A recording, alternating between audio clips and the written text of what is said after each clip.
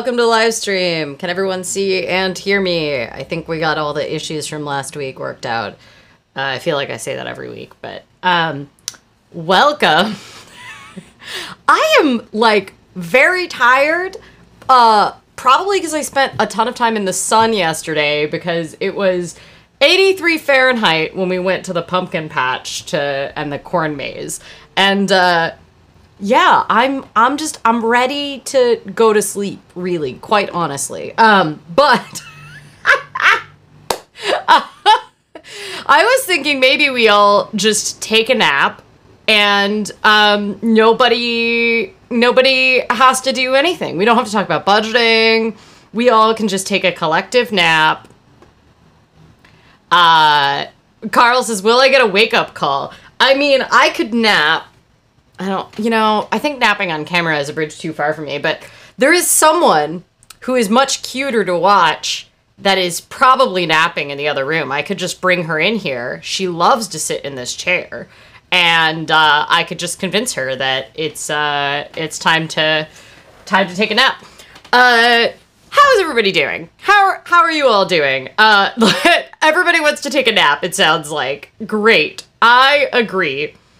Um, yes, it is spooky season. It is also of the most important. It is Budgetober. I think it's the most important. Maybe nobody else agrees it's the most important, but it is Budgetober over on the Oh My Dollar forums. Oh, there we go. Oh, there was a nice delay. Uh, Budgetober on the Oh My Dollar forums. So all the live streams this month are about different budgeting topics. Today we're going to talk about budgeting with variable income, which we talked about a little bit last week.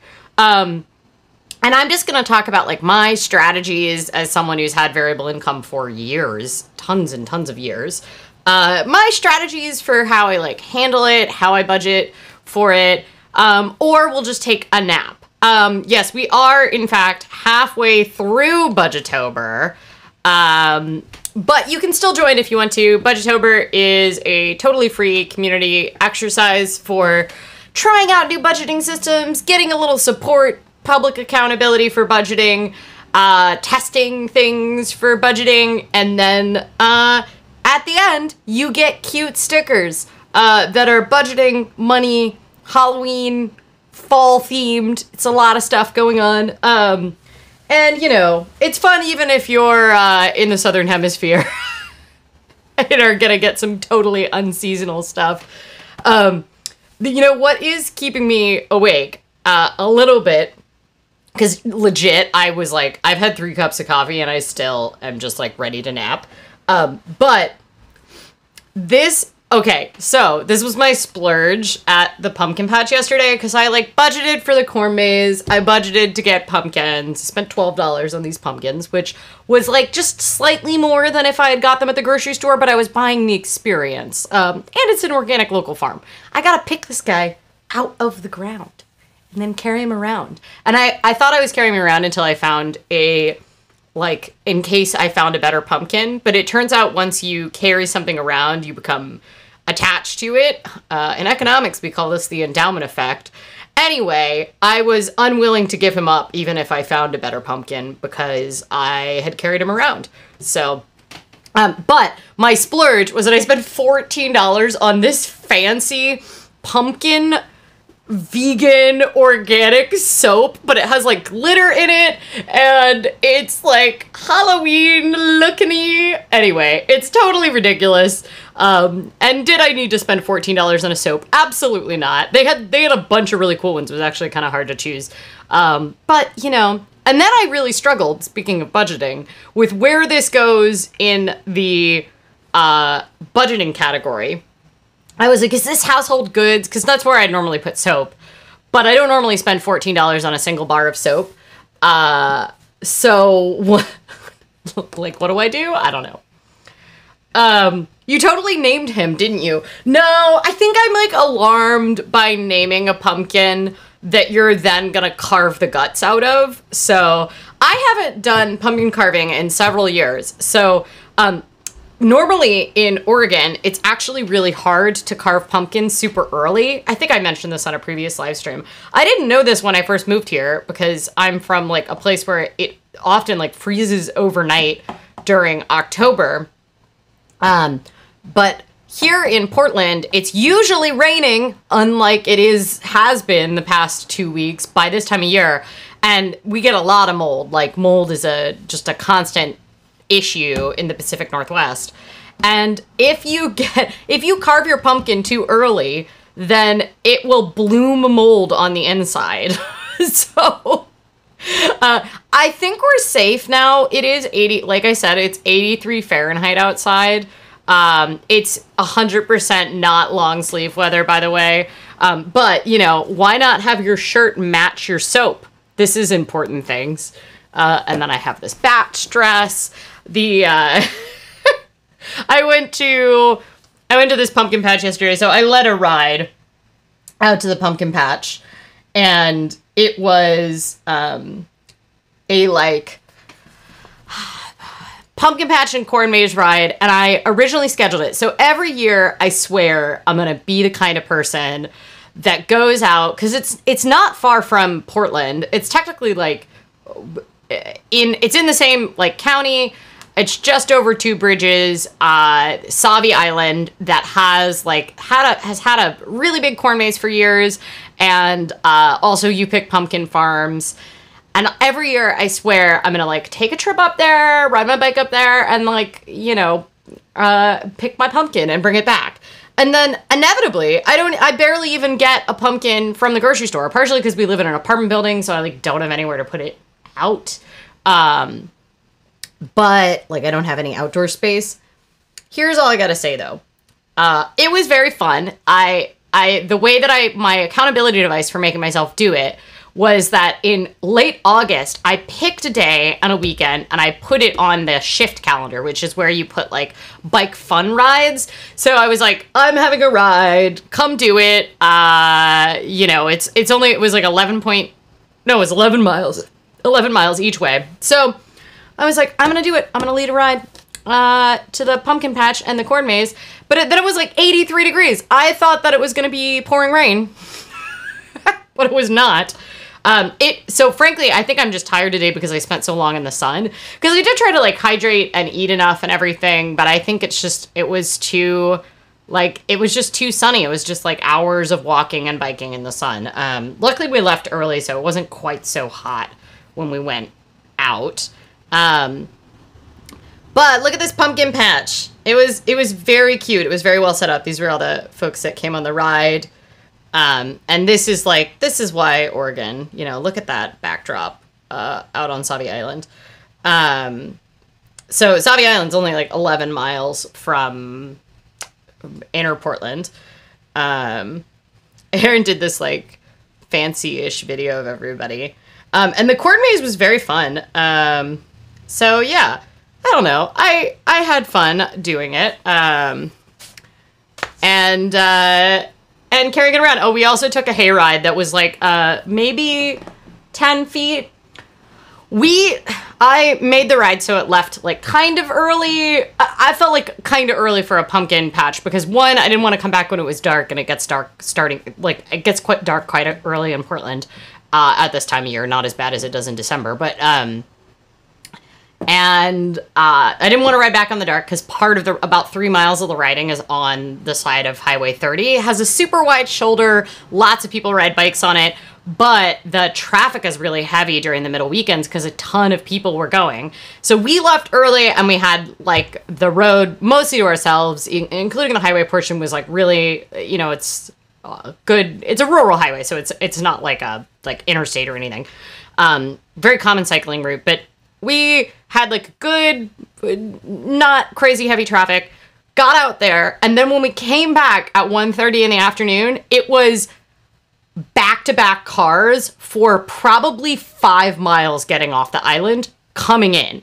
So like we were on this one side and we only had like a little bit where there was a little bit of stack up of cars to like get onto the bridge, like maybe a couple blocks. Um, but the like almost I think five miles straight of back to back. So there's two bridges that you cross. So you cross like a bridge to the other side of Portland, and then you like come come back, and the um, I it was there's 3.3 miles between the two bridges, and then there was like another two miles from the second bridge onto the farm, there was a line out out the parking lot, the significantly sized parking lot of the farm, all the way off the island, across the bridge, and then back to the other bridge, like bumper to bumper cars. And then our side was like pretty empty. So it was definitely a lot better. Um, Eric says that is one great pumpkin worthy pumpkin patch. Yeah, I you know, this guy was six dollars.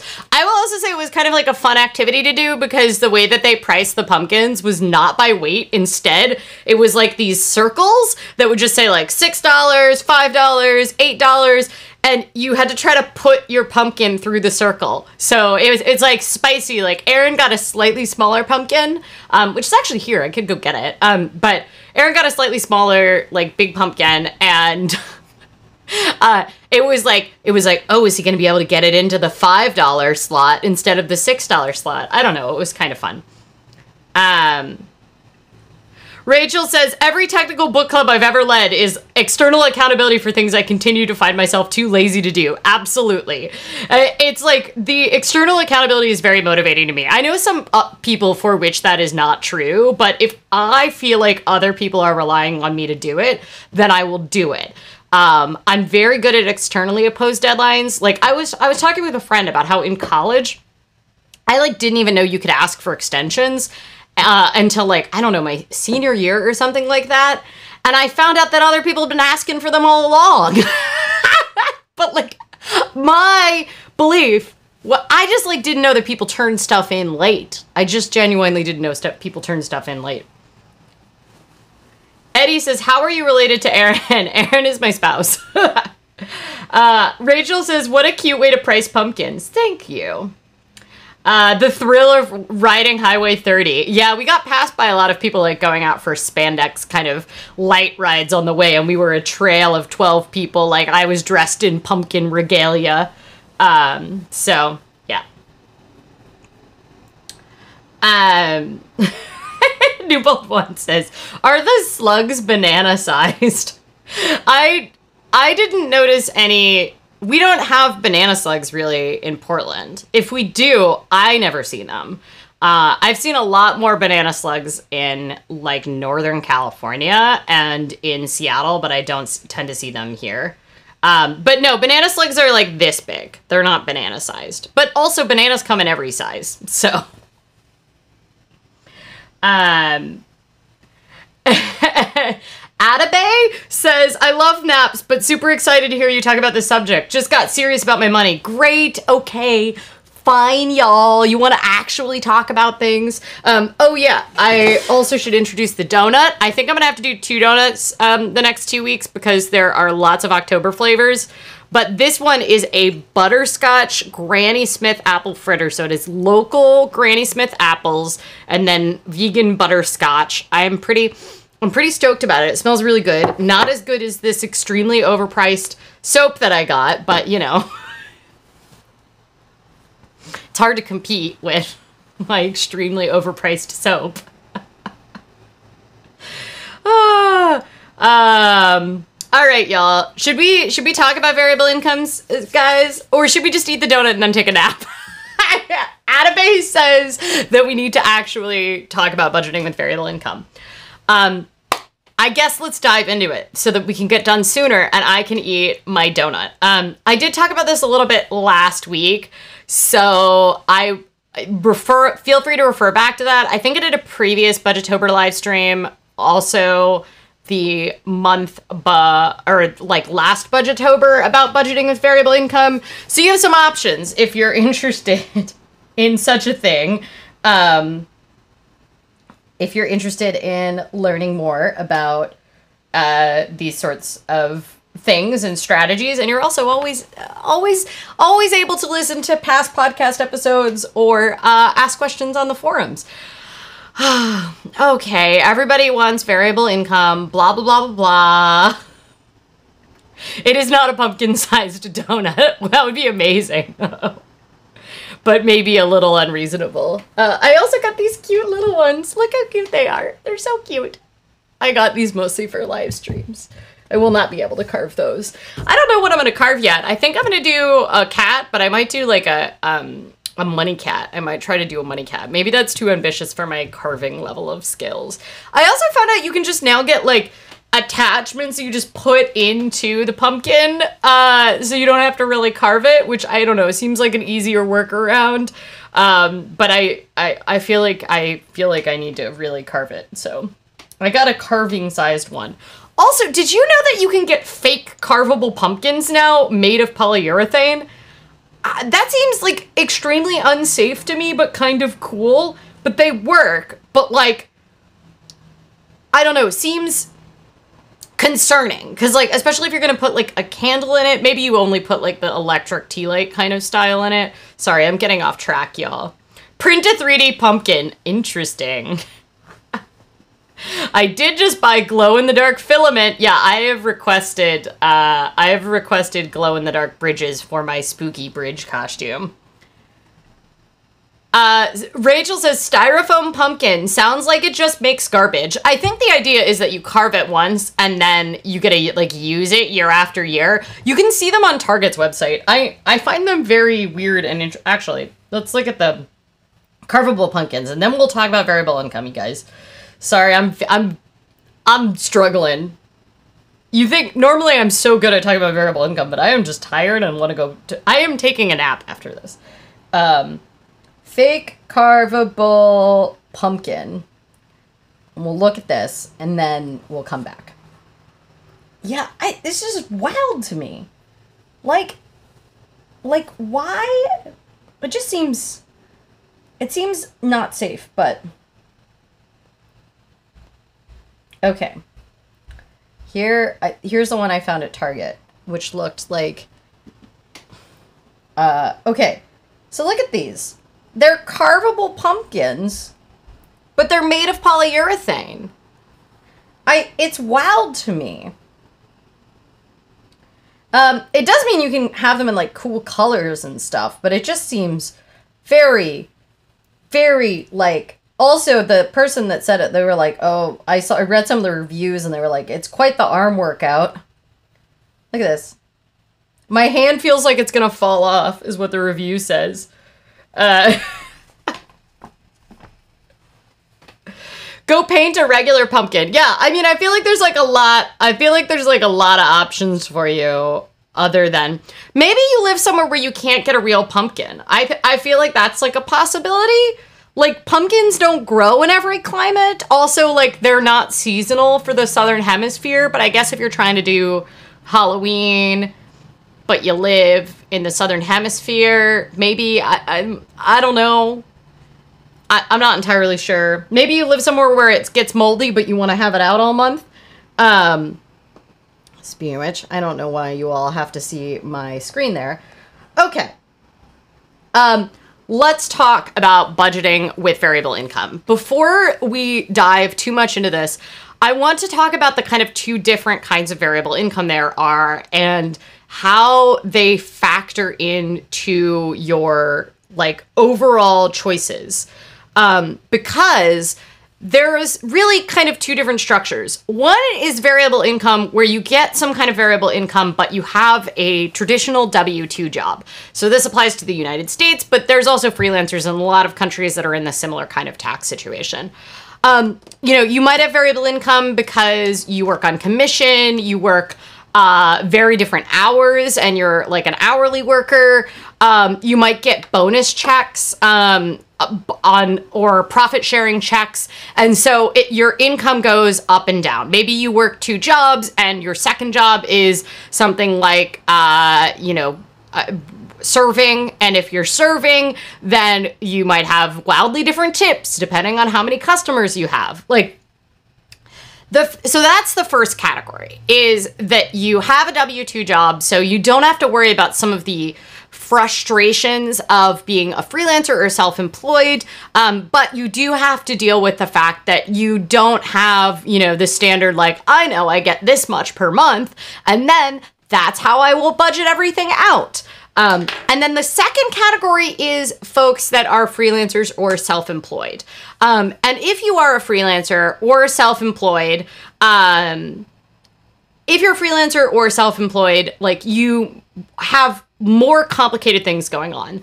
You in addition to having to submit your taxes, possibly quarterly or at least annually on your own, which means you have to set aside money every time you get money in to pay your self employment tax. Um, you also have other things that you have to consider. Usually, you have to also deal with your health insurance, which you might not have to deal with if you are through a W 2 job. And that can be super frustrating when you have variable income as a freelancer because if you are buying your health insurance in the US through the marketplace, the marketplace asks you to estimate your annual income um, and or your monthly income. And you're like, if you overestimate your income, then you may end up getting some extra money back at tax time. Um, but you also might have to pay more money each month than you actually need to pay because you would qualify for less premium subsidies. Or on the flip side, maybe you qualify for health insurance. Um, you qualify you, or you you know are underestimating your income you ended up getting a lot more money in during the year uh, than you expected and you're worried about like you are losing medicaid eligibility or you're going to have to pay back your premium tax credits the only time in which this was not true was weirdly 2020 and 2021. There was a special situation where you got your premium tax credits refunded, um, even if uh, where you didn't have to pay them back even if you were in the category of someone who underestimated their income. I did a live stream about this because I was in that category. They actually passed the law after I'd already filed my taxes and paid my extra premiums back, which I knew I was going to have to do. So I had been saving up money for it. Uh, and then I got refunded to me. So I just got like an extra $2,300 back that I had already paid to the IRS. Um, and it took me a while to figure out what was going on. And that's because they passed the law in between when I filed taxes and uh, when, uh, in between when I filed taxes and when I, uh, I, when they uh, passed the law. So they refunded it. They did refund it automatically. It was very cool, but also there was no explanation. And I got the letter like months later explaining what was going on. And it took like quite a lot of research to figure out what was going on. Because I was like worried that I, because I had already got my refunds, which were very small. They were like in the hundreds of dollars range. Um, and I was like really concerned I was to have to pay it back. I don't know. I was concerned. It, t- it took like a couple hours of research to figure out what was going on. Part of that was just they had passed so much coronavirus relief related that was done via the tax system that it was like very complicated to figure out what was possibly going on. Um, not dealing with pumpkin guts seems like a market advantage. I don't necessarily agree because pumpkin guts are like you can do things with them, like bake the pumpkin seeds and make delicious roasted pumpkin seeds. Um, Yes. Okay. All right. I'm going to let I'm going to stay on topic. So, with variable income, there's there's a couple different categories of things you need to consider. One, I think the most important thing when it comes to budgeting with variable income is the traditional status of being like, oh, I'm to fill out a budget. I'm to sit down and say, I'm making $3,000 a month. Therefore, and I know $800 goes to my rent, and then I'm to budget $200 for utilities and $500 for groceries, you know, whatever it is, and then just kind of budget from what you know you're going to get in with variable income, you it is ideal to get to the point where you're only budgeting with income you already have. So that you are not in the situation where if a check is delayed or something like that, you've already spent money that you don't have in yet. This is true for everyone, but it becomes a lot more important with variable income, especially if you have the kind of variable income where you spend a lot of time invoicing companies that sometimes are very slow to pay you. Um, and because when you're living paycheck to paycheck, you have a higher level of predictability of when the money will come in than if you're living check to check as a freelancer, business owner, then it that lower level of predictability you has you have means that it becomes even more important to not um, count your chickens before the eggs hatch. Um, and the kind of key of, in my opinion, being able to figure out how to allocate the money that you have when money comes in.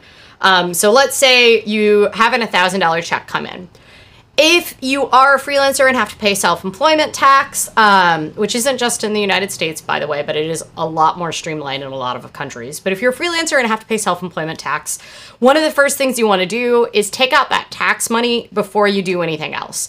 And the reason you want to take out the tax money before you do anything else is because that isn't your money and you are going to be in a world of hurt if you spend, you don't save for it, and then you end up owing it. So the first thing you want to do is take that tax money out. In my case, the way that I, I do my tax money is that I figure out what from the money comes in is going to business expenses first then I take the tax money out. And that is because business expenses uh, will reduce my total taxable income. And for Oh My Dollar, especially, I can sometimes have very high um, business expenses relative to my income. And I don't need to save money on taxes that are going to lower my gross income. Um, so I'll do that. Then I will take that money and I move it to a separate account. And I think the separate accounts are extremely helpful when you are in the case of needing to save that tax money. And the reason why I recommend it is you can even move that to a different bank. So my tax money does not live in my main bank so that I don't start looking and seeing that total and start spending it in my head. And then additionally, the bank that I move it to, so I actually transfer it out after after I've done all my allocations for business expenses, figured out how much it is. So let's say I get a $1,000 check. I have $200 of business expenses. Uh, so that's $800 after my expenses. And I save 30% for taxes, which if you don't know how much you need to save for taxes because you this is your first year as a freelancer, uh, 30% is usually a good rule of thumb unless you have very, very high or extremely low income just go with 30%. Self-employment tax is 12.8% um, that you would pay in addition to what you would pay in taxes from your uh, employer because you are paying both the employer and the employee portion of your taxes. But moving along with that. So I take my expenses out, allocate them, and then I move on to my, uh, I'm, so if I had $800 left out of that $1,000 check, after I budgeted for my business expenses, I would take 30% out, which would be $240. So that's 30% of the 800 I have left after business expenses. Then I take that $240 and I transfer it to my tax savings account. Almost all banks let you label your accounts, like give them a nickname. Um, I call mine taxes no touching. and I put that money in the account, and uh, it earns a little bit bit percent of interest there, more than I get in my business checking account. It's it's fairly rare that business um, checking accounts give you any interest, and a lot of business savings accounts don't. And since I have a business um, business checking account, I move it to a different institution. Um, so it's called taxes no touching, earns a little bit of interest, and it's out of sight, out of mind. So that's my first recommendation is if you are in that freelancer category and you need to save for taxes, do it before you do anything else. Um, the next category of things to think about, whether or not you're a freelancer or you just have variable income otherwise, is think about paying yourself. And by paying yourself, I mean putting some money in savings because um, everybody else is going to, you know, you're you're born, you turn 18 and then suddenly you owe everyone money. And uh, if you don't save for you, no one else is going to do it for you. And by saving for myself first, so taking whatever percentage I'm aiming on saving and putting it into, you know, maybe you're trying to save up to get one month ahead, as was mentioned earlier. Maybe you are in the situation of, um, of, you know, you're trying to, you're participating in the 22 in 2022 challenge and you want to save 22% of your income, then what you would do is you would move that money into a separate account. Um, you know, you'd save 22% of what is left there. Could make tons of sense depending on what you're doing, but my recommendation is save even just 1% for yourself. If you are um, in the situation where you don't feel like you have a flex a lot of flexibility in savings, save just 1% of what you bring in for yourself to start building that habit of taking care of yourself. Um, I feel like pay yourself, save for yourself because no one else will is like a whole damn thesis, more important than so many things. Yes, hence why I think it's like two chapters in my book. But I think savings can be extremely powerful. They give you a lot of negotiating position because saving is actually quite rare, especially in American culture. Um, and because they're rare, it can put you in a better negotiating position. If you are someone who works as a freelancer and um, you know you do have savings, it gives you the opportunity to say no to gigs that might not be a good fit for you.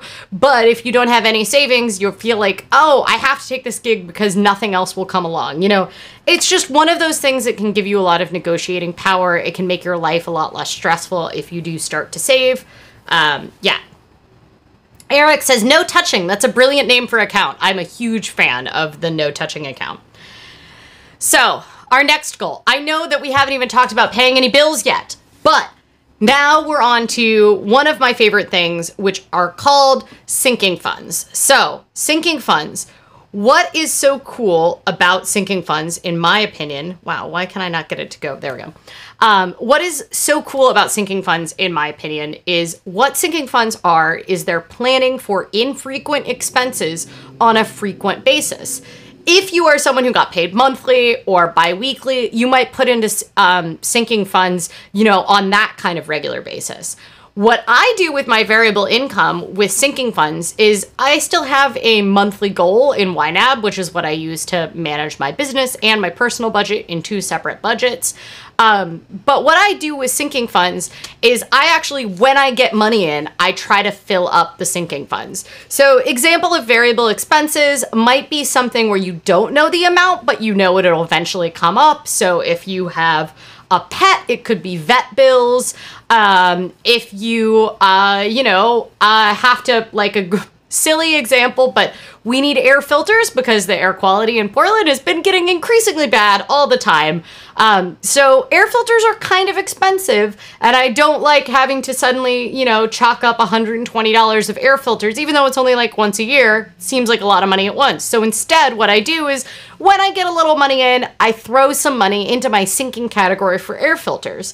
And the advantage of this is that and it's not an account, it is actually just a category I have in YNAB. You could do it in a spreadsheet, you could do it in Mint, any of these kind of um, budgeting apps, which we have a stream on budgeting apps, and then we're going to have a new one uh, next week, I believe.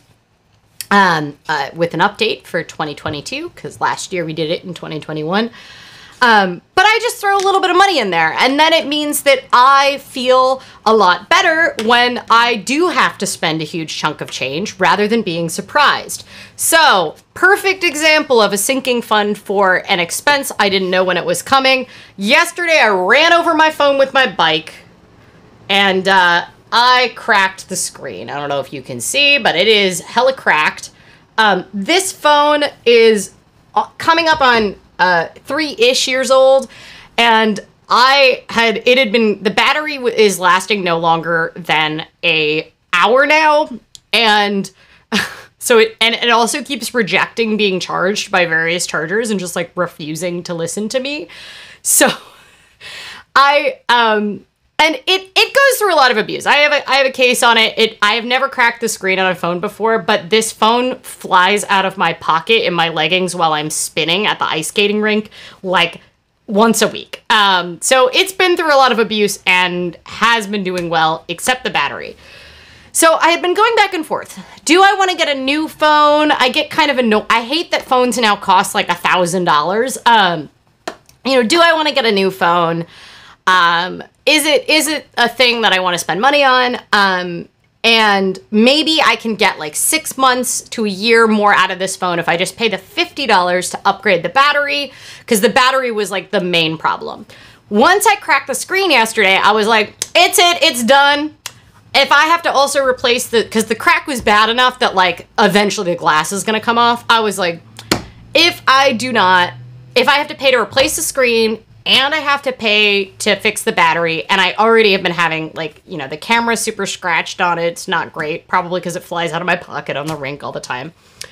I was like, oh, uh, I guess I got to do it. But what made it a lot easier to swallow? Um, so I have a friend who works at Apple. Uh, thank you, Joey, if you happen to be watching. I know you said you might tune into the live stream, uh, but I have a friend that works at Apple and uh, is very sweet to let me use uh, his friends and family discount every time I need to get a new Apple product. And I have a mainly Apple ecosystem, partially because I went to the college that Steve Jobs went to. So I have been an Apple for a long time. Um, and my dad used to work at the company that was uh, run by Steve Jobs uh, before Apple. So my first computer actually was on the Next OS, which is what the Mac OS is based on. Anyway, random Lily fact. But I already had money in my business, uh, like budget that I had been saving up to replace a phone in. So, you know, when I bought this phone, I purchased it out of my sinking fund for my phone. And it isn't something I necessarily fill up every month. If I have some kind of extra money from a check, like if I get a huge check from a brand deal or a speaking gig that I did, then I'll start to look at those sinking funds for like more flexible things and go, yes, okay, that's, I'm gonna put some money in there take care of my future self. And so I just perfectly had about $700 in my um my like electronic sinking fund and it's gonna it cost me about $600 with the discount to get this uh the upgrade for this phone which is uh, going to appear at my house later today because it is the future and you can order a phone at like 6 p.m. on a Saturday and have it show up on a, a Sunday. Um, so, Possum says, uh, that's why your phone costs like a thousand dollars. Well, I won't actually spend a thousand dollars on a phone. Um, I will only spend. I will. I really 600 is about my upper limit, but I also try to recognize that I amortize uh, the whole situation over time. So I actually figured out how much per hour of screen time that I've spent on this phone since I got it. It works out to nine cents an hour or uh, like uh, 40 cents a day or something like that. And I'm pretty willing to say, like, I have to appreciate. I, I, it's frustrating to me how expensive phones are now these days. Also, by the way, the part of the reason I have a cheaper phone is because I have um, not great hands, and so I can't really use those big phones because I can't like hold on to them and use it with one hand. So I prefer the small phones. Also, I wear a lot of dresses that don't always have the best pockets. So this is the only kind of phone that'll fit in my um, pockets. So um, the advantage of uh, the like the thing that I have to remind myself that this phone has more RAM in it than my laptop did in 2009. This phone has more like storage space than almost any computer I have had for the past, I don't know, my whole life. Um, and I just have to remind myself and appreciate on a regular basis that I do get a lot of use around it. It is a pocket computer that I carry around, I abuse, I use for everything. And so I try to appreciate that and remind myself when I get upset about, about it, not to get too off track. Um, but the, I kind of went back and forth where I was like, ah, should I move to the Android ecosystem? But all my other, um, equipment is, um, is Apple. So I wasn't sold on that. And I do really like one, I mean, Google be a sketchy company. I'm sorry to say it, but it is doing some extremely sketchy stuff around security, safety, blah, blah, blah, blah, blah. Um, but I also trust the security and the encryption much more on Apple devices. Um, so that's part of the reason I stuck with it. But I, I was tempted by the little flippy phone one. Um, but like they, because I was like, hmm, I remember flip phones, but this one would be a small, a small phone. So okay, my point about sinking funds um, is that sinking funds are particularly great when I'm trying to find my sinking funds. Nope. Okay. Um, my the what is useful about sinking funds is it uses a psychology that brands use to sell you things, but to your benefit. So a great example is like every time you want to sign up for something like uh, you know, let's say you want to sign up for a website that has a subscription fee and they'll be like oh, it's only $8 a month, but you actually pay on an annual basis. So it's $8 a month, but it's $96 a year. Um, and you're going to have to pay that $96 all at once. And $8 a month sounds a lot better mentally to you than having to come up with $96 does. Use that same psychology. They do that to sell you uh, auto insurance. That's a great example of something that works very well for sinking funds. Usually you pay auto insurance on a six monthly basis. And so they sell it to you and they're like, oh, it's only $50 a month. But actually, you are going to have to pay, you're going to have to pay $300 at once, right? Um, and so it is very helpful to kind of remind yourself and put the work in towards using that same kind of psychology on yourself to make things less stressful. I know a lot of people who get very stressed out by what I call known knowns. They know that that bill is coming, but it, it somehow becomes an emergency every time because they've done no planning for it. So, what is very helpful about sinking funds is it allows you to think on a check by check basis with variable income and plan for things without having to be like, oh, I have to come up with this huge amount of money of that.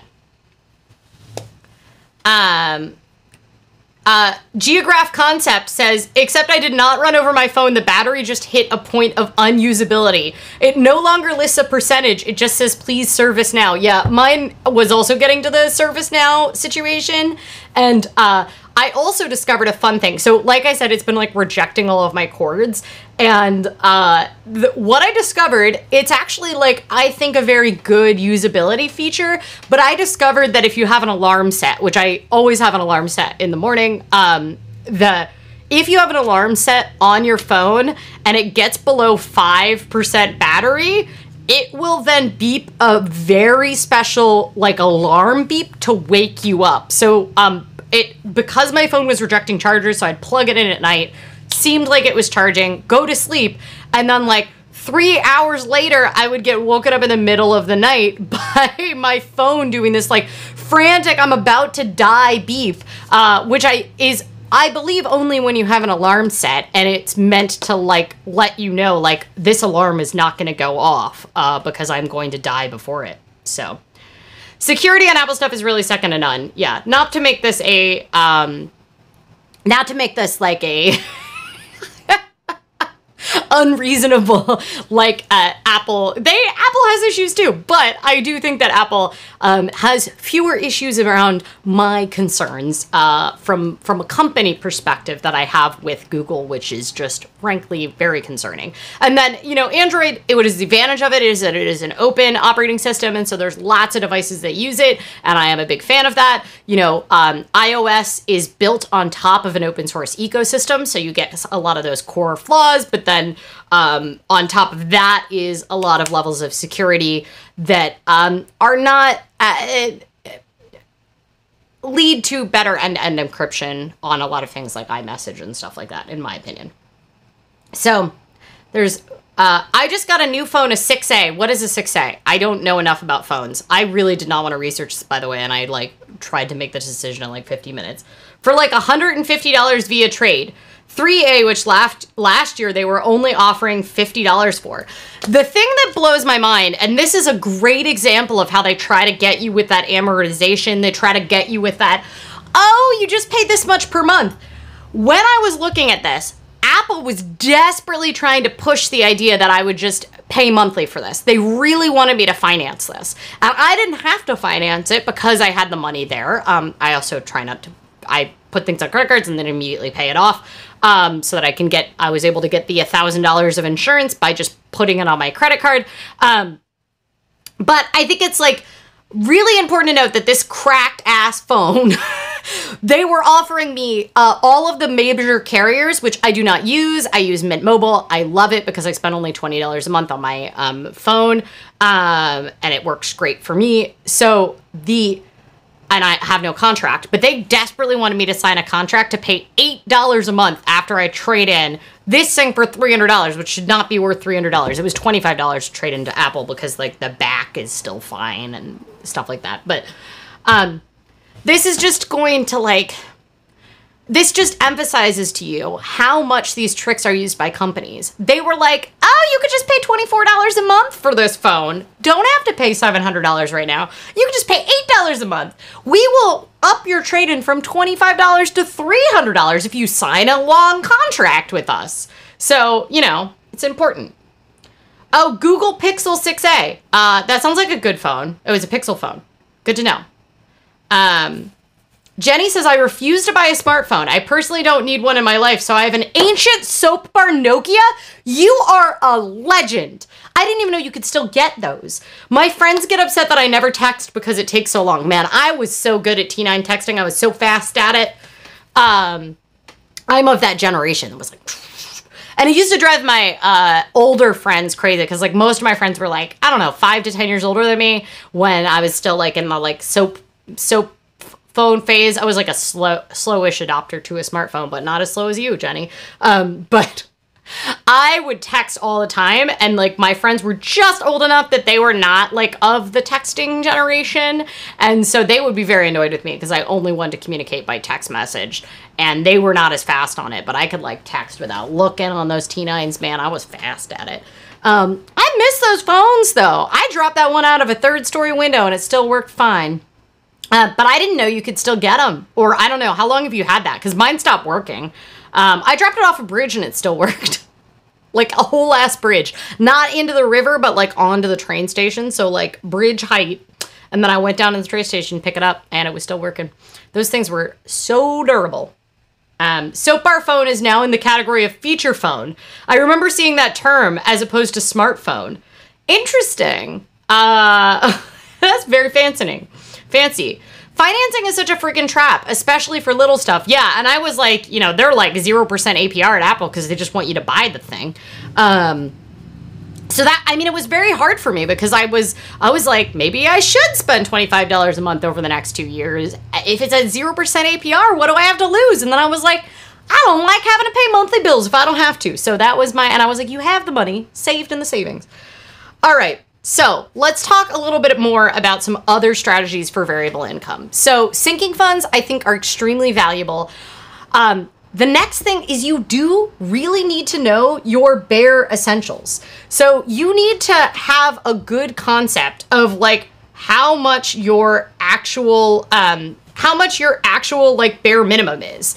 And this is true for both your business if you're a freelancer, but also your personal life. You need to know what are the things that you absolutely need to cover because it'll help you understand every time you get a check how long you have until the next time you get a check. So, we're back to that $1,000 check. I'm going to use this because $1,000 is a round number, relatively easy to do the math on. Knowing your bare minimum expenses will really help you plot out how long they were going to live. And I, this is why I think tracking your expenses is so helpful. Yet another shout out to Budgetober if you need to kind of figure this out. But your bare minimum expenses are whatever you need to survive. These are not necessarily your debt payments, these aren't your savings, um, but they are your non variable core expenses.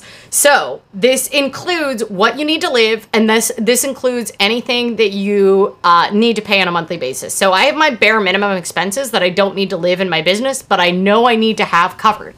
So for me, that is hosting, that's transcription, that's paying my contractors, um, and then it is all of the freak ton of software it takes to run a media business these days. Once again, try to remind myself how powerful all this stuff is and the fact that we have it is so great.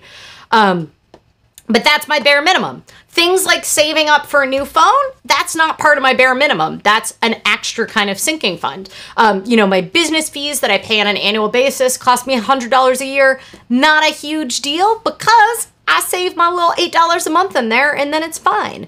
Um, and I just put that money in that category. Uh, I pay my hosting, uh, some of my hosting. I have a lot of hosting because the forums get a lot of traffic. Um, but you know, I pay some of my hosting and my domains on an annual basis, and I save in there um, because I need those to keep running. I need to pay my business insurance, my liability insurance. Um, I need to pay for my email servers, things like that each month. I have to pay for Adobe because, as far as I can tell, I'm going to pay for Adobe until I die. Um, And then I have my life bare, bare, minimum expenses. So for me, that is my rent, that is my utilities, that is my groceries. Notice groceries are a variable expense, but they are an expense I need to cover because I need to eat. Um, I have my, you know, my groceries. For me, it's uh, uh, my transport sinking fund. For other people, it might be gas that they need to get to gigs. Um, this is one of those categories where gas can be a lot more than what you use to get somewhere that pays you. But when you're thinking about bare minimum expenses, think about the kinds of things that you are kind of non negotiable. You need to have to earn more money, you need to live, right? Like, I put money in my clothing sinking fund whenever I have extra money around, but I don't fill it up before I fill up the other essential categories because, frankly, I have more clothes than anybody could possibly need. Um, but then like still don't have ten new tennis shoes. I bought mine for eight dollars at Goodwill, and I run I've run hundreds of miles on them, and I still haven't replaced them. So, um, you know, some things are fun for me, and then some things aren't. So, tracking your expenses for three months will help you really start to understand that. I think a lot of people get really beat themselves up when they start tracking their expenses because they're like, "Oh, you know, it I really didn't know how much I spent on groceries." And then they get upset that it's way more than they estimated or they forget about some kind of core expense. I see this a lot with things like school fees. Like, you know, your kid comes home and they're like, oh, "I got school pictures." "Oh, you got to pay this activity fee." Like things like that that just kind of sneak up on you give yourself grace when you first start budgeting and tracking expenses because it's gonna take a while. You aren't gonna know how to do it from the beginning. I have been tracking my expenses for 15 years. I've been putting them every month on the internet for over 10 years, and it's different every month.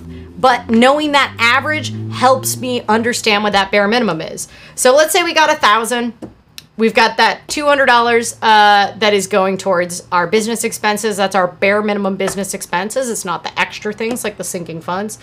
We got we take another 240 out of that out of taxes. So now we've got 440 that before I do anything else has come out of that 1000. And you're like, "Damn, that is the worst part about being a freelancer, right? Is that, you know, you start spending that money in your head and then you realize that there's stuff you don't even get you don't even get to see again. So now we're only down to 560. So the 560 from that check, what thing is it going to go to first? Let's say your rent happens to be $500. That's pretty good rent these days, but let's just say it's $500. Okay, you know you got to pay that. $500 goes to that first because we want to make sure we still got uh, the walls around us. And then you're like, okay, my utilities are $50. We put it there. What it helps you do if you know that bare minimum let's say you're someone like me that might get paid like, you know, sometimes I get $20,000 at once, but then I need to make that $20,000 last for six months. So when I get that $20,000 first thing, gonna put those taxes away because otherwise I'm gonna spend too much of it. Then I'm gonna put the business expenses away that need to be paid. I might budget those business expenses out for months, right? You know, I might actually put it far out. I usually try to be at least a month out in my business expenses uh, when money comes in. Uh, part of that is because I have Patreon, which, by the way, if you don't know about, is the Purrsonal Finance Society. I send you stickers. They help support the work of Oh My Dollar. Um, and they're just people that support us on Patreon. But one of the advantages of Patreon is even though I have variable income, people come and they go as they can kind of afford it or they value it. Um, but I know how much I'm going to get the next month. Um, and so I'm like, okay, I got like 400. I've got 600 coming in from Patreon the next month. And that allows me to be like, okay, I know how long I've got to make this last and work on my business expenses. And my core business expenses are between like 200 and 250 a month. And so from that money that comes in from Patreon, I allocate that to the business expenses immediately. So actually, um, actually understanding like what your bare minimum is um, will help you have a better idea. So if you've got that twenty thousand dollars in, and I know that my um, average monthly expenses are about fifteen hundred dollars, and that my core expenses are uh, about a thousand dollars, thousand, eleven hundred dollars, and like fifteen hundred is include some things that I don't always have to do, like figure skating, for example. If things were really bad, I would, I would not be going spending the money I am on figure skating. So that is $6,600. So if I get in, let's say I get a $10,000 check in, I take the money out for taxes, I take the money out for business expenses, then I know, okay, 6,600 of that, that $10,000, I uh, I have six months before it is panic time. I've got six months to bring in another check, right? So that is really, really helpful if you're getting, if you have variable income that is extremely variable. So a very common thing are students um, so if you are a graduate student and you get paid once a semester, perhaps from your teaching fellowship, or you're a student that gets student loan refund checks and you have to make them last all semester or all, quarter, then this is a great example because instead of getting that $3,000 in, spending it all the first week, and then living like a pauper the rest of the quarter, you're able to go, okay, I got a $3,000 student loan refund check. I got 10 weeks to make this last. How much do I have each week? Um, one of the things you can do if you have that extremely variable income with variable income is give yourself a paycheck. So, if you get that extremely variable income from something like a business, you get a huge order, you've got to make that last send yourself a paycheck so that you can kind of have that certainty, but do it to yourself. So that could be, uh, you know, put all your money in the account and then transfer it into checking every week or every month. Um, and that's the money you have to spend. This is especially good if you are the kind of person that checks your bank account balance to see how much you have, which is a really big problem if you need to save for taxes, right? So transfer it into the account you can see and then use that as your paycheck. If you're a cash based person who likes cash, you could take um, your weekly allowance out in cash, and that makes it a lot easier to um, manage kind of that impulse that can be really challenging if you have variable income, especially if you've got that highly variable income. Um, Possum Planner says, I hear that from a lot of creators on Patreon. This literally pays my bills. It is so, so helpful for me as someone that um, really uh, has a lot of like kind of core expenses in the business. And then it's just helpful. It, it just means that I don't have to cover all of the expenses of running Oh My Dollar, of getting books. So we do, I do a lot of work in the community with, um, with low income youth and in particular i use those uh, i use the money from that to help buy books uh, you know i donate my time to the organizations that i work with teaching personal finance but then i'm able to give them copies of my book thanks to the Purrsonal Finance Society Possum Planner says, Oh my god, I wish I could run a million mi- miles in cheap sneakers. I will say these were very fancy sneakers that I just got very cheap. So um, they are like so I live in the same town where Nike and Adidas are, so you can get often like not at all used, dead stock or uh, barely used Adidas and Nike sneakers at the Goodwill. So that's why I buy all my sneakers there. Um, I have really screwed up feet because I'm a figure skater, and therefore no sneakers are really going to be comfortable for me. Um, I also have rheumatoid arthritis, so I have like arthritic feet. I just I got a lot. I got bunions. I got um but I'm also not that great of a runner. I run like, you know, on my best days, eight mile pace, 10 mile pace. I just do it for the cardio. I'm not I'm not trying to win any races, but um, I probably if I would investigate how to have better sneakers, then I would get spoiled to that. Um, I thought I was never going to be able to run more than 20 minutes due to pain, but it turned out I needed actual running shoes. Shoes. Who knew? Yeah, I mean that's the thing is I I wouldn't wear like Walmart sneakers just because I have too many friends that are really into running and like work at Nike and Adidas, and they would absolutely not let me wear like really cheap sneakers. But yeah, I get my stuff at Goodwill um, because it's just not an area that I want to spend a ton of money on. I get really like upset at how running expensive running shoes are, um, but I'm in the like the place where footwear is really expensive for me um, is figure skating because I am a high level skater and I also have very screwed up feet. And because of that, I have to get custom skates. So next year, one of the things I've been saving up for putting a little money in every time I have a little extra money left after all of those core expenses into a sinking fund is replacing my skates. So my skates are 20 years old. That is not how long custom skates usually last. Mine lasted that long because I took 15 years off from the sport,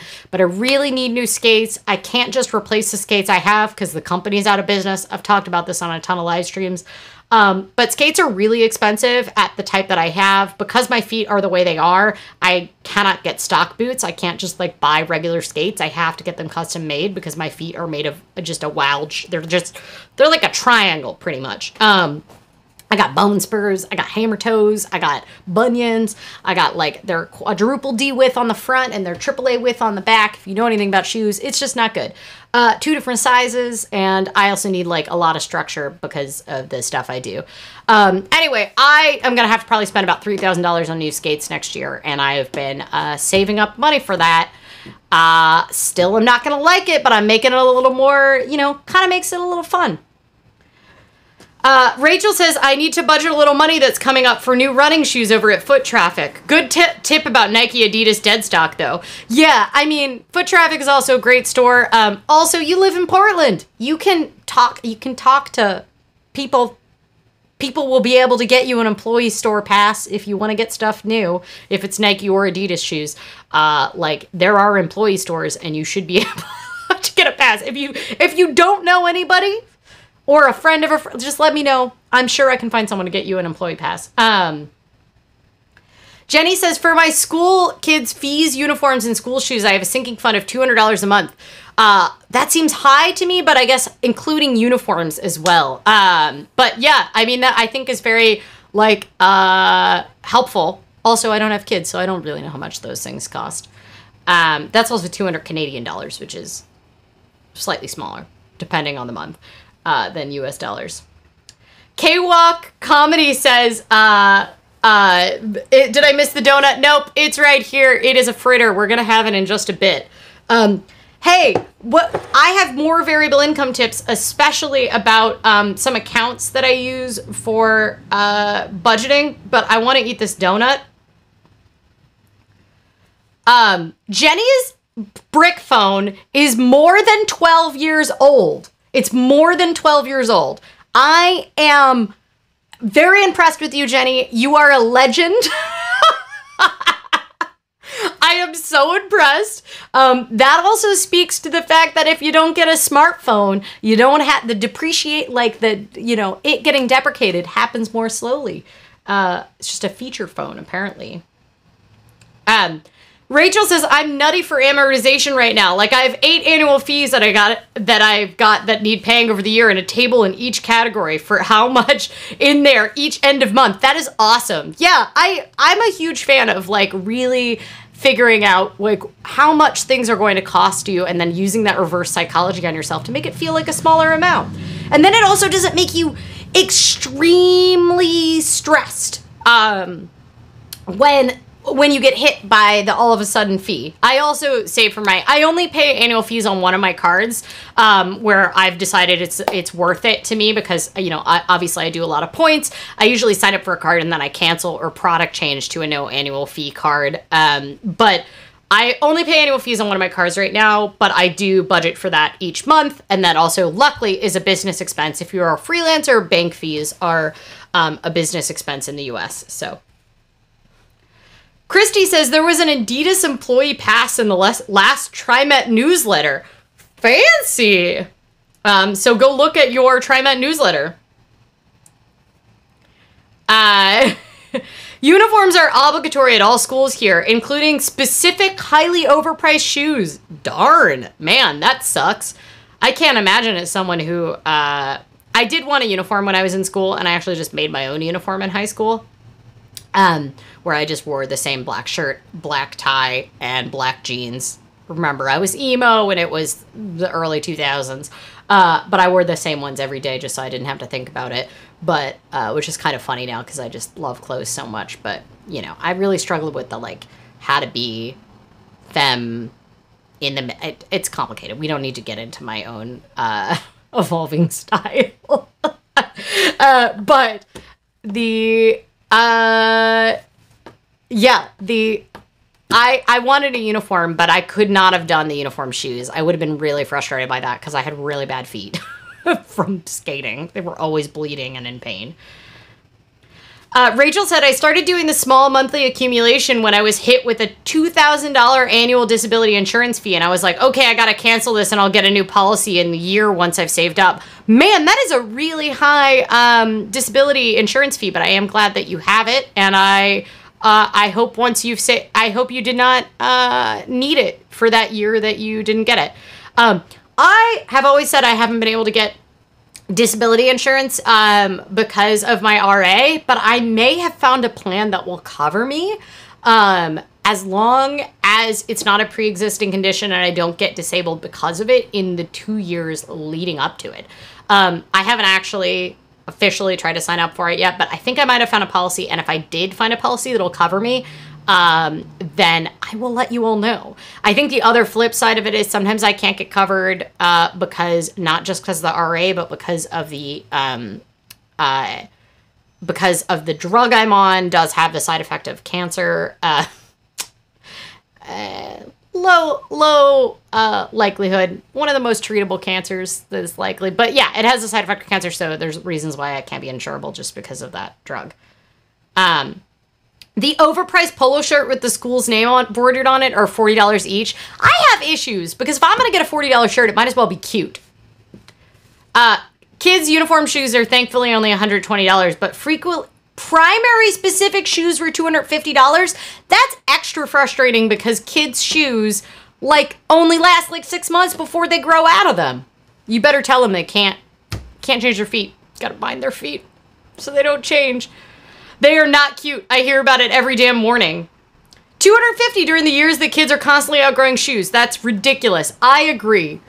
All right, y'all, let's eat a donut. And then um, if you want me to talk about some of the freelancer specific accounts and stuff that I use, I'm also happy to show you. I've, I've been working on this to give it out as a perk to the Patreons. Um, my, so I have a, a spreadsheet that I use um, that I, I kind of input from YNAB, so I'm updating it so that you don't have to use YNAB to like make it work for you. Here, I have to download it on the iPad. Um, but I have like a Google sheet that I use for all my business expenses. Um, and it is very helpful because it does kind of the tax tax calculations for me. It also like estimates my home office deduction so that I don't save more for taxes than I need because I'd get a home a big home office deduction.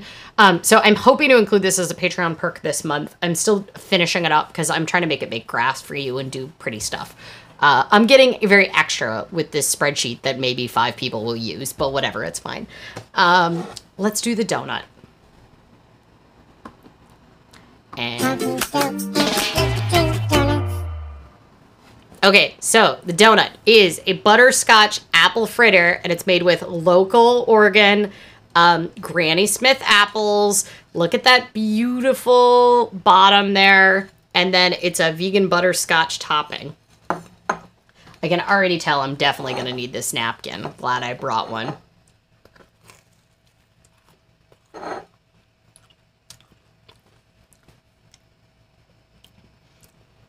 Rachel says useful spreadsheets are as good for ourselves as for anyone else you might make them for. Well, I already use a spreadsheet. I'm trying to adapt this so it's useful for other people.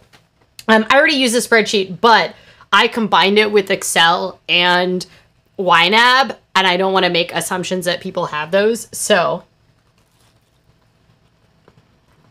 I'm making it a more complicated version. Ooh.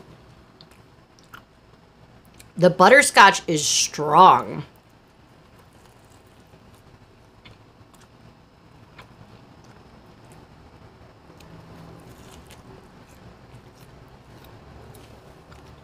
Look at this.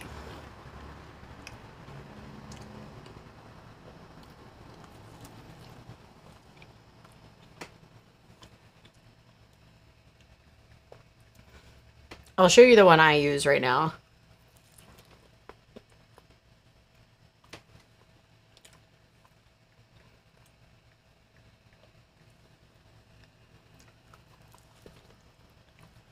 But I'm upping it. Um, I'm not really getting the granny apple very much, but there's a big chunk right there, so I'm about to eat one.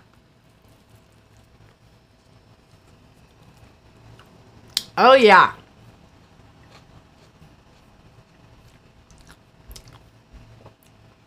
This is delicious. I might also be hungry and expecting the sugar to erase the tiredness. But let's try.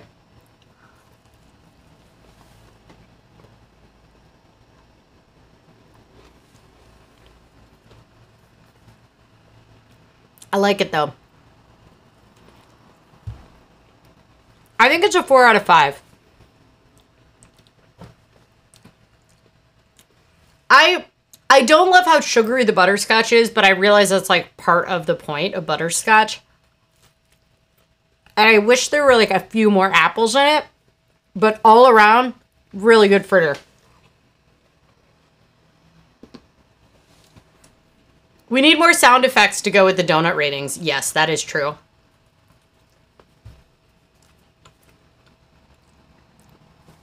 Newbold uh, one says open office user here, and I would absolutely be glad of a spreadsheet with prints out graphs, etc. Well, it is a Google sheet, which is what I decided to do, um, just because. Uh, just because that is more sustainable than having people download Open Office. But, all right. Uh, I will show you guys what the spreadsheet looks like, but I'm I'm really expanding it. So it has, this is my income. So that's like the gross income that goes up the top. And then it's my operating expenses other than charity. And then my target charity is 5% um, for Oh My Dollar. So that is actually just a fill in there for me. Um, and then how much my charity actual was. And then my home office deduction is based on my um, trying to see if I can see notes on here, but I can't. Um, there's a note on there though, but it's $180 a month, which is essentially the percentage of my apartment that is used just as my office. That amount I can deduct as my home office deduction. So then I'll have the expenses. It also uh, calculates out my 401k target because um, I have a SEP IRA. So the max I can contribute to that is 25% of my gross income. So it'll calculate that out and then I send my send that money based on this spreadsheet each month over to my SEP IRA. Um, and then that's what my tax gross is after my solo 401k and that'll tell me what my goal is um, which is 30% of that. So that overall is what that looks like. And then that feeds this spreadsheet. So this spreadsheet if I make this out, has because I was also working a day job, it would transfer in the gross uh, after all my expenses um, and my SEP IRA because that comes out that's pre-tax dollars um, over into this spreadsheet, and that would allow me to calculate out what my savings rate was and everything like that. And uh, it also does the calculations over here of what my hourly rate is for the year because I track all my time.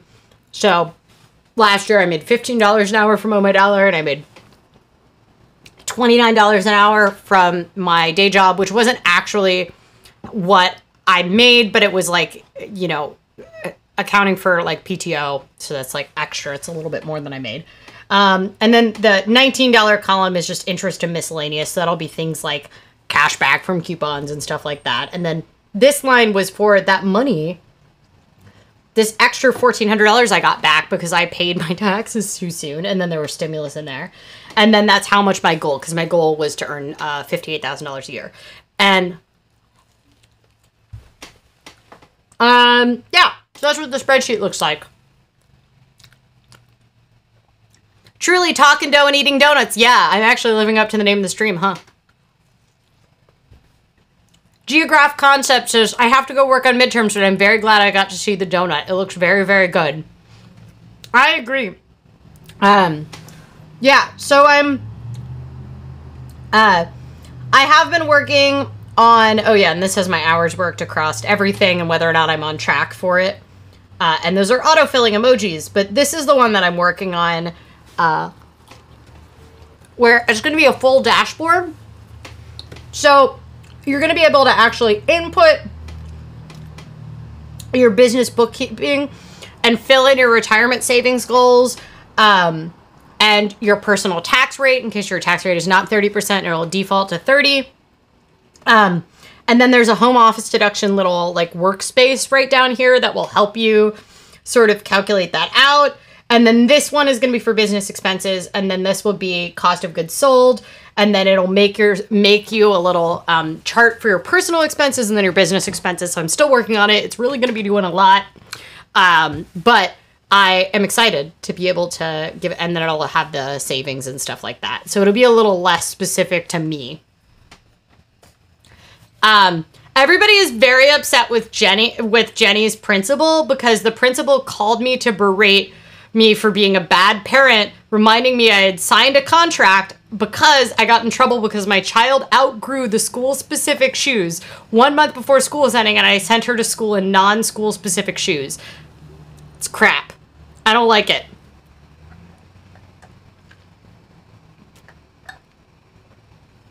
Rachel says, I wonder if sometimes principals forget they're talking to other grown ass adults with that kind of stuff. I know. It's like, come on, guys. Just be reasonable. Uh, Eric says, this is really a thing, right? It is uh, talking Joe and eating donuts right there. So, yeah, that's what I'm working on. I will have that due. Um, K K Walk Comedy says, as a principal, I would never do that. Are you a principal or are you just like, that's what you would do? uh, if you were a principal. Both are valid. I think as adults, we can decide what we are going to do. I think that this is just like a what happens when you get on power trips as an administrator, right? And you're not like this is when you are you believe everything should be by the book even when it doesn't make sense. But imagine having to buy those $250 shoes again. Um, Jenny says the principal definitely talked to me like I was a badly behaved eight year old. I did not appreciate it, especially as a healthcare worker during a pandemic. You can just end any sentence with that. You've got like bragging rights for a very long time. There are bigger issues than shoes they need to worry about. Agreed. Parent shaming, not a part of my job description. Yes, I'm a principal. Middle school, prayer accepted. well, good to know that if uh, Jenny enrolls their kids in your school, they will would not be shamed for uh, not buying shoes.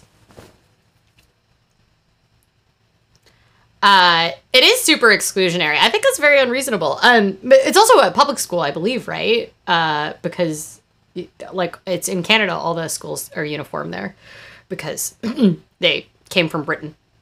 So, um, y'all I know I should talk about more stuff, but frankly, one, my uh, arrival window for my phone is starts in 10 minutes. And I don't know if I have enough stamina in me after all the sun yesterday. I really thought that I would have more. Uh, I really thought I would have more energy to talk more about variable income. I guess here's the thing that I can show you really quick before we get off. Um, is that there's two, I think, very helpful, um, very helpful apps that are banks that you can use as a freelancer. So a lot of people use Wave. I link to it down below in the description. Um, but the freelancer bank I actually use, I use two ones to do my tax savings. One of them, which I linked down below, is called Lili. And what the advantage of Lili is, is that it is a bank that is designed for freelancers. So it will automatically put a percentage of each check that you get into an account for your taxes. Um, this is the one I use, not just because when it came out, it was the only one. Um, there is one other one, and it is called um, Found Bank. And I also link to it down below in the description. Um, both of them have some kind of integrated bookkeeping. So they will both flag things that you spend on the account that could be business expenses. So if you're self employed and you don't have like a ton of cost of goods sold and very complicated accounting to do, like someone that maybe sells uh, physical objects like I do, Um, if you're just like a freelancer mainly, these can be very good for getting your basic bookkeeping, and both of them allow you to send digital invoices. So if you're someone that just hates invoicing, really wants to put it off, um, these banks could both be really good options for you, and it will automatically categorize something that you could then print out and hand to your accountant or try to use when you file your own taxes and fill in your Schedule C. Um, but what I really like is the nice invoices that you can send. So, yeah. Um, sinking funds was a really awesome concept. Fruitful stream, and thank you. So, great. I'm glad to hear that. Uh, and knowing your bare minimum, I think, is really important. Um, so the other thing I will recommend for some people works well. I still use YNAB. I was using Wave for a bunch of years. They raised the price um, if you needed it to account for cost of goods sold. I used to use it because it'll let me scan my receipts just automatically um, and then allocate them and sort them. Now, instead, I use what's called Genius Scan and I scan all my receipts because you have to hold on to those receipts if you're a freelancer, but they don't have to be in physical format. I scan all my receipts for my business expenses and then I just upload it to the cloud because you uh, because I track my expenses elsewhere, I just need to know that I have all the receipts. Your accountant does not want that shoebox full of receipts. Your accountant just wants the totals you spent in each expense category. However, if you get audited, the IRS will want you to produce the actual receipts. Credit card statements don't work, um, nor do your own bookkeeping. Um, so I just upload them digitally. I scan them so that the they can be searched, and I stick them in iCloud. And I do it with a free piece of software. I used to use Wave though. Wave works really well. Um, if you are someone once again that is mostly a freelancer, um, and it lets you create invoices and stuff like that. If you are someone that absolutely will not, by the way, these are all linked in Oh My Dollar episodes. Um, but if you are someone that knows you would never scan receipts and you have that shoebox full of receipts, uh, then really awesome thing is this company called Shoeboxed. And yes, you can scan things automatically. Or what you can do is you can, they'll send you an envelope and you stuff the envelope full of receipts and send it to them and they'll scan and categorize everything. Um, so the it's just a good way to get rid of the receipts and outsource a very annoying part of being a business owner if you'd like to. If you don't need to fully outsource accounting, but you just are not going to handle those receipts, um, Shoebox can be a really good option for people. I think it's like $9 per envelope or something like that. So, um, and you could stuff a lot of receipts in there. So, save the shoeboxes, yes, but also please don't drop them off at your CPA or tax preparer's office. Um, uh, K-Walk was a pandemic principal. I became a principal in 2020, so I don't know life without empathy. Wow, what a time to become a principal. Uh, Jenny says that is a brave career choice. Yeah, that is uh, some serious stuff right there. Um, Newbold One says they farm out to gig style workers, I think. Yeah, but it's easier than having to hire your own people to do it. Like you could absolutely hire someone, some gig worker, you could find an assistant, you could ask someone on Twitter to do it for you, or you could just pay them and they do the outsourcing for you. So, um, you know, yeah. Uh, K-Walk says, make sure you hit the thumbs up, people. The principal and me giving orders. Thank you for the reminder, y'all. I appreciate the shout out, K-Walk. Um, uh, Atabey says there is uh is it Atabey or Atabey by the way? I was pronouncing it Bay and then I was like, I don't know if that's correct. Um uh, there is a business for literally everything. There is absolutely a business for everything. Um, although accounting is, uh, if you want to start a business that will always be in demand, make something that is very frustrating about running a business easier because there will continue to be people like solve an inefficiency in the market. And one of the inefficiencies is that scanning your receipts is not a good use of a lot of freelancers' times. Um, Eric says, like and subscribe. Y'all, you're so great. Thank you. um, there's no flu for the week this week. However, if you are a patron, uh, if you are part of the Purrsonal Finance Society, which you can join at ohmydollar.com slash support, please fill in the form that is sent to you when you sign up to submit a floof. Um, and if you sign up, you get sent a little welcome packet of stickers. It's one of my favorite things. Um, like I said, it is not too late to join Budgetober. You're halfway through the month, but you can still do it. Uh, I'll still send you stickers. Uh, and so if you got excited about trying to figure out what your like core expenses are or tracking a category, join on ohmydollar.com slash budgetober. Uh, very fun. And uh, submit those floofs, guys, so that we can have more cats to look at. Um, I am to nap until I get woken up on this broke phone to get my new phone. And I am very excited about it. You know, when you get like a new device, you're like, well, Jenny doesn't know anything about getting a new device because Jenny's had the same phone for 12 years. But when I get a new device, I always believe that I'm to like turn over a new leaf. I think, I think like, this time my home screen's to be the most organized thing or like this time I'm not going to hold on to apps that I don't need anymore. Um, so I'm I'm ready. I'm ready. I'm going to do that. I'm excited. I'm I'm trying not to be too stressed about getting a new phone and the fact that that means I have to buy all new accessories for it. Uh, last time to pick which case to get, which worked really well until I ran over the physical screen of my phone with my bike. Um, the uh, this case, uh, I watched, I think, five plus hours of YouTube reviews of iPhone cases. I think one of the advantages, but slash disadvantages, is that the um, Mini 13, they stopped making the mini size. So there's actually way fewer cases produced for the Mini 13. So at least it kind of narrows the scope, but it is annoying because I keep finding stuff that I'm like, I want that one, then it's not available for it. Uh, Jenny says, My husband just bought me a new typewriter. That's sort of a new device. Mmm, fresh typewriters. I used to have a cursive typewriter and it was like my favorite thing. Um, all right, y'all.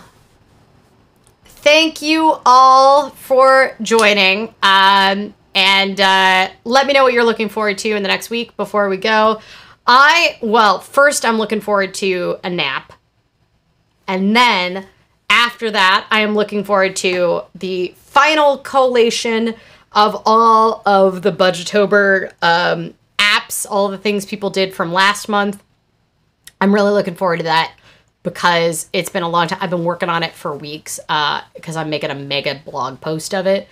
Uh, and I'm I'm looking forward to being done with that because it's kind of been hanging over my head. So, uh, Atabay says I got the Mini 13 too. Atabay is right. Okay, cool. Um, Possum says OtterBox. I hate spending that much on a case, but cheaper than replacing phone. Yes, absolutely. That's actually what I ordered because they were like weirdly half price on Amazon. But the other thing too for me is that I it has the MagSafe in it, so I want I want the MagSafe components. Um, I really like to have a wallet on my phone, so if you can't tell, the wallet, but the downside of the wallet is with the wireless charging, it wasn't working. It doesn't work, and I have to take the cards out to do that. Um, so with the new MagSafe, I can just like attach the wallet to the back and take it out. So Atabay says, thanks again. I got some homework to do for my budget. Jenny is sewing a glow in the dark dress for Halloween. I am looking forward. I hope that you like post pictures of that on the forum or something. That sounds awesome. Um, or submit it as flu for the week. You can be the flu for the week as a ghost. You know, we've got a very broad range of what is flu for the week. All right, y'all. Um, I will see you next week. Stay safe, stay healthy, pet a cat if you have one available, stay hydrated, and I guess stay out of the sun because, man, whew, I am tired. Uh, see you soon. Bye.